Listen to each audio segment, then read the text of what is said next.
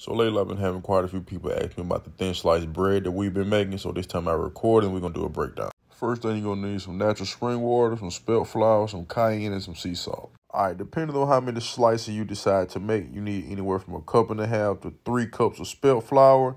And then from there, you want to add your spring water in accordingly. If your dough appears to be a little bit wet, just add in more spelt flour and make your dough as thick as possible. From there, what you want to do is knead your dough, place it on the countertop along with some spelt flour, and knead your dough into a ball like this. From there, you want to cover your rolling pin and some spelt flour also, and you want to roll out your dough as flat as possible, making it as thin as you possibly can.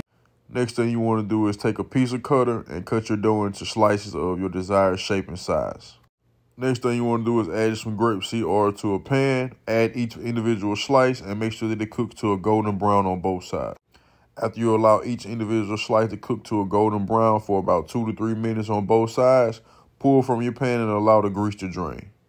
And from there, just plate each individual slice and layer with your desired toppings and enjoy your alkaline thin sliced bread. Goal!